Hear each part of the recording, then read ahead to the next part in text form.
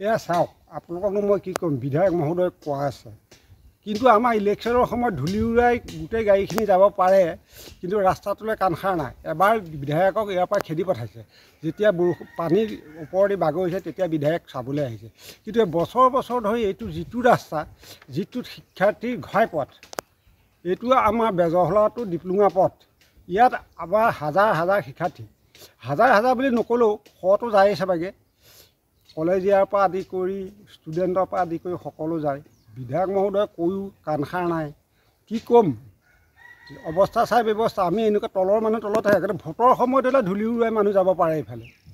এশখন বাইকো এইফালে যায় কিন্তু ৰাস্তাক তেতিয়া নাচায়। এতিয়া কিন্তু আমাৰ আপোনালোকে কেইবা কেইবাবাৰো জনাইছে বিধায়কক। কিন্তু বিধায়কে এতিয়ালৈকে কোনো কাণসাৰ নাই কাণ খাৰ নাই দুগাড়ীমান চেনকেফালে আনি পেলাই দিলে আৰু।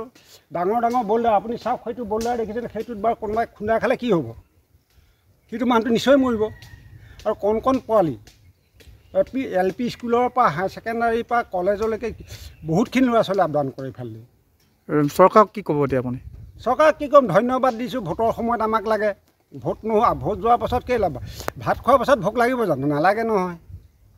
এয়াই আমাৰ চৰকাৰ এয়াই আমাৰ দেশ এয়াই বিধায়ক ধন্য বিধায়ক ধন্য চৰকাৰ।